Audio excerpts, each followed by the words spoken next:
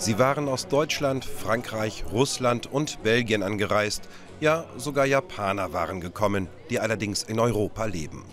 Dass sie sich ausgerechnet in Lingen trafen, hat einen Grund. Die Stadt gilt als wichtiger Atomstandort. Denn neben dem AKW, das 2022 vom Netz gehen wird, gibt es hier auch eine Brennelementefabrik.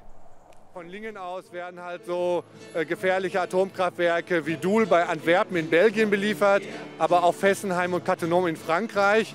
Und äh, da sagen wir, das ist mit dem Atomausstieg in Deutschland nicht vereinbar, wenn man hier aussteigen will und gleichzeitig aber die Brennelemente für Atomkraftwerke in den Nachbarländern liefert, die dann auch schwere Störfälle produzieren können.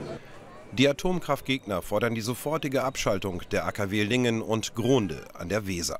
Dazu sollten die Lingener Brennelementefabrik und die Urananreicherungsanlage in Gronau ebenfalls schließen, denn die sind nicht Bestandteil des deutschen Atomausstiegs. Auch ähm, halt in den Nachbarländern, äh, die Kernkraftwerke laufen weiter mit Uran, angereichertem Uran aus Gronau, mit Brennelementen hier aus Lingen. Äh, ich glaube ungefähr, die haben über 30 Prozent vom Weltmarkt beliefert, die auch zum Beispiel nach. Der Betreiber der Brennelementefabrik Areva wollte heute kein Interview geben.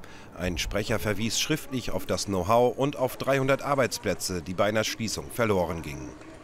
Und ich denke, da geht es nicht um ein paar hundert Arbeitsplätze, so traurig das ist, aber wenn ich zum Beispiel an den Bergbau denke, wo es Leute gibt, die mit über 3000 Jahren, mit 43, äh, über 3000 Euro im Monat, mit 43 Jahren zum Beispiel in Rente gegangen sind, Vorruhestand, dann denke ich, das dürfte mit ein paar hundert Leuten hier auch möglich sein.